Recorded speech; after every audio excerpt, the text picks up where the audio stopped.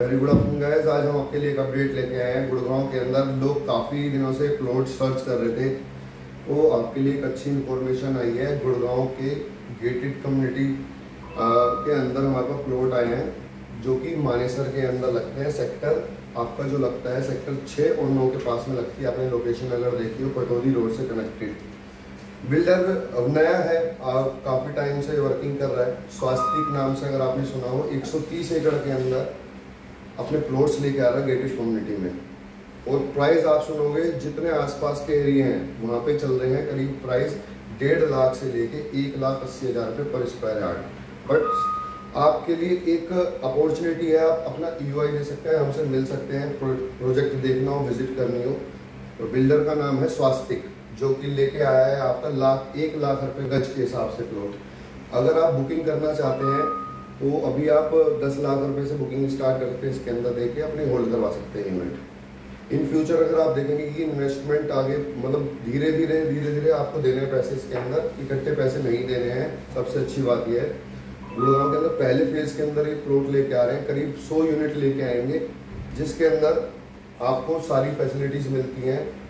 जैसे कि playing area मिल जाएगा, आपको क्लब हाउस मिल जाएगा और आउटडोर आपको बहुत अच्छे प्लेइंग गेम मिल जाएँगे बच्चों के लिए, जैसे टेबल टेनिस हो गया, या फिर आपका इसके अलावा लॉन टेनिस हो गया हाफ़ फुटबॉल स्क्वैश कोर्ट हो गया, इस तरीके से एम्यूनिटीज वो प्रोवाइड कर रहे हैं बिल्डर काफ़ी बिल्डर पहले ला चुके हैं आसपास के एरिए में, मगर वो एक एक तरीके से आप देखेंगे प्रोजेक्ट पूरा गेटेड नहीं होता। चाहे डीएलएफ की बात करें, बीच में से रिवेन्यू रोड जा रही है उनके भी चाहे बात करें हम जेएमएस नेशन की चाहे हम डीएलएफ एनक्लेव की बात करें, अगर आपने नोटिस किया होगा फ्लोर या मास्टर प्लान आप देखेंगे मास्टर प्लान के अंदर आपको रिवेन्यू रोड दिख जाएगी। इसका मतलब गेटेड होने के बाद भी प्रॉपर गेटेड नहीं है। फैसिलिटीज़ दे रहे हैं वो। बिल्डर अच्छे हैं बट ये है कि आपके पास ये अच्छा ऑप्शन आया है, जिसके अंदर कम से कम भी आप आज की डेट में कुछ ना कुछ ये देखोगे कि बेनिफिट उठा के जाओगे।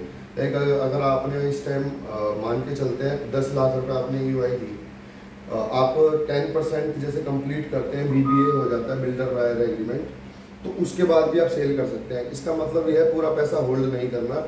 अगर कोई प्लॉट आपका डेढ़ सौ गज का है तो डेढ़ लाख मतलब कि आप डेढ़ सौ गज का है तो डेढ़ करोड़ की से ऊपर का ही जाएगी इसकी कॉस्टिंग तो अभी आप पूरा पैसा होल्ड नहीं करना है थोड़ा थोड़ा अमाउंट देना है, जिससे आप दो प्लॉट भी बुक कर पाओगे। दस दस लाख की दो ई दे दो। बाद में प्राइस बढ़ेगा तो आप उसको सेल कर सकते हो। और इसके अलावा अगर आप देखते हैं मार्केट के अंदर हमारे पास ऑप्शन तो आए हैं और। वो नेक्स्ट वीडियो में बताएँगे हम आपको। अभी के लिए यही अपडेट था। Thank you so much have